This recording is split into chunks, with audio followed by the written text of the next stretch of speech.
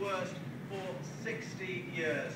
It's also pretty bad with the River Severn. We've seen uh, a lot of alarm, a lot of anxiety in Worcester about the rising levels of the Severn there. So let's hear now from our correspondent, Charlotte.